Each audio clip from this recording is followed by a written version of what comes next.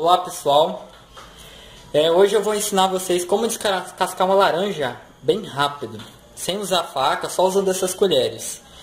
É, esse é um jeito de você descascar a laranja, assim, machucar ela e aproveitar mais os, o caldo e, o, e se for fazer suco, o bagaço. É, vou primeiro começar com a pequena, você primeiro tem que fazer um corte nela para poder você inserir a colher. Aí quando você for começar, você começa fazendo movimentos circulares.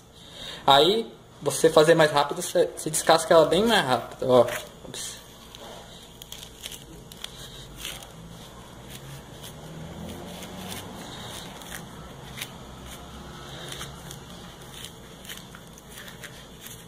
Quanto maior a colher, mais rápido é. Então, foi rapidinho, não machucou a laranja, não, derramou, não fez sujeira. Aí você vai... Opa! Você vai usar a colher maior só para você ver como é bem mais rápido. Você pode descascar ela em 15 segundos. Tem se for rápido, consegue até em 10. Pronto. Aí.